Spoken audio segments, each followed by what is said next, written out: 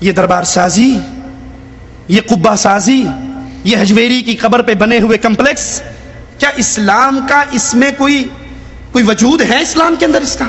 اس کی کوئی اجازت ہے؟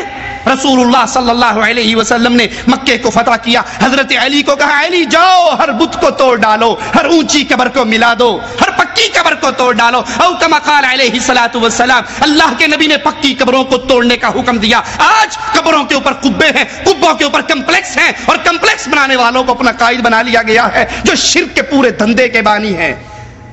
اللہ رحمت کرے، محمد بن عبد الوہاب نجدی رحمت اللہ علیہ پر، جنہوں نے لا الہ الا اللہ کی آوازیں کو اس پاک سرزمین سعودی عرب سے بلند کیا۔ محمد بن سعود سے اللہ راضی ہو، رحمہ اللہ، انہوں نے امام محمد کا ساتھ دیا۔ اور یہ دھرتی جہاں پر دربار، لسوڑی شاہ، پھسوڑی شاہ، ایٹ شاہ، کاما والی سرکار کے نہیں تھے، جہاں زید بن خطاب کا قبہ تھا، جہاں خدیجہ کے دربار تھے، جہاں صحابہ کی قبریں تھی ان سارے درباروں سے اس دھرتی کو پاک کر کے یہاں ایک اللہ کے گھر کو چھوڑا گیا اور اعلان کیا گیا لوگوں یہ پیشانی جھک سکتی ہے تو عرش والے کے سامنے، اور بندے کی پیشانی بندے کے سامنے نہیں جھکا کرتی۔